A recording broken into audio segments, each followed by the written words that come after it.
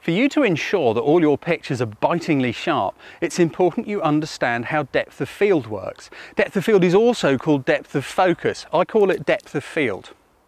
Imagine your depth of field to be a block, if you like, of sharpness, which you can move front to back in your picture.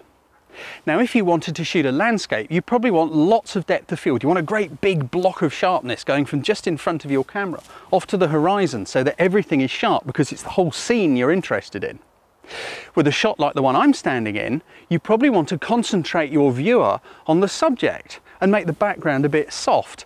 Therefore, you need a very small block of focus or depth of field. In this case, it goes from just in front of me to just behind me.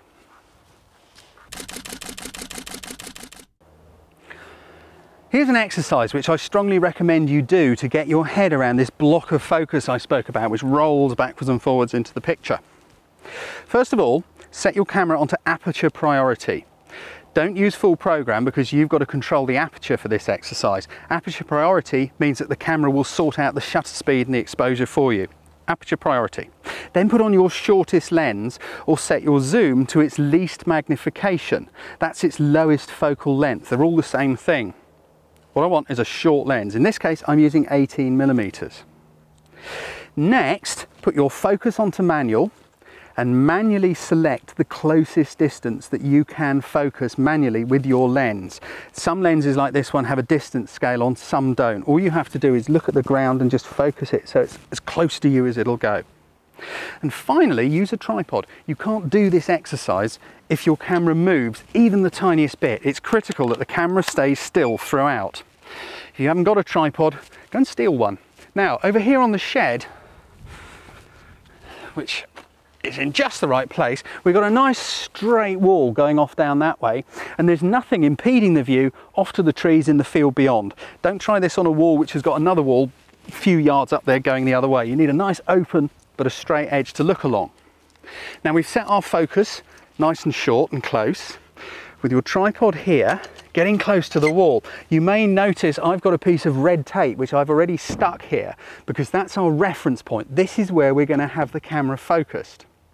Without changing the focus, this is a little tricky one, you've got to focus this by moving the camera backwards and forwards until the tape comes sharp in the picture because we've got to make sure we're as close to the tape as we can get and have the shot and have it sharp. Great, I've got all that lined up. All you have to do now is take a picture. There we go. When you look at that shot, you can see the tape's nice and sharp. And as we go along the wall of the shed, the sharpness in the shed is going from about here up to about here. Up here it's all distinguishable and as we go off to the horizon you can still see trees, but they're a little bit soft. So the next part of the exercise is not to change anything other than the aperture. Now I want you to set a middle range aperture. I'm going to go with f11, okay? That's about halfway along your aperture range. Take exactly the same picture. Straight away as you flick between the two, you can see that it is sharper in the f11 shot, the trees in the distance are sharper than they were in the wide aperture shot. Depth of field, your block, if you like, has now gone from about here, a bit further along the shed wall. You're up to about here. There's a little bit of softness in those trees when you zoom right into the picture, but not much. So, the next step, set your smallest aperture.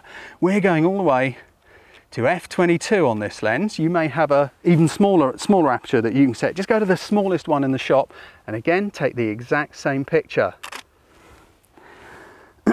Zoom in, have a look around. Yeah, depth of field is now going from our tape all the way along the side of the shed. We're getting right up to the end of the shed and a bit further. We're getting to another tree over there on the right in the garden.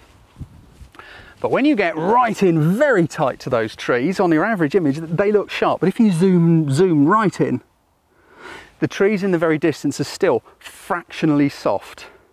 So here's the next thing that affects that block of depth of field. Your aperture is the primary control, but also where you focus. Because as you focus further away, that's when you're moving that big block of focus that way or that way in your picture. I want those trees in the distance sharp and I want my tape sharp. Now there is a rule for this and there is an equation that works it out. Adam Scory tried to explain it to me, but can't be bothered. All you need to know is how it works. Without moving the camera, manually set your focus to about two feet in front of the camera, okay? That's about a foot in front of the camera, my piece of tape. I've now just doubled that. I'm focusing about here. It's about two feet away. That block of focus that you can move backwards and forwards, not only does it go that way, it comes towards you as well. So all we've done is shift that whole block that way a bit to try and get those trees sharp. If you don't have the distance scale, get someone to stick their finger on the wall or put another bit of tape there or something and manually focus on it and whip it off. Just focus the other side of your bit of tape and same shot again. Again, you zoom into this and bingo, you've got a sharp piece of tape and you've got a very, very sharp tree in the very, very far distance. Wide lenses, massive depth of field. They're great for landscapes and things like that. But if you want a blurry background, you're incredibly unlikely to be able to achieve it with a wide lens. To do that, you need the opposite, a long lens.